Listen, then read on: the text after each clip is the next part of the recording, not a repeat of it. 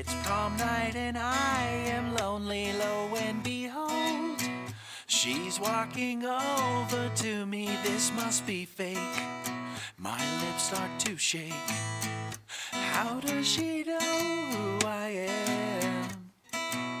And why does she give a damn about? I got two tickets to Iron Maiden.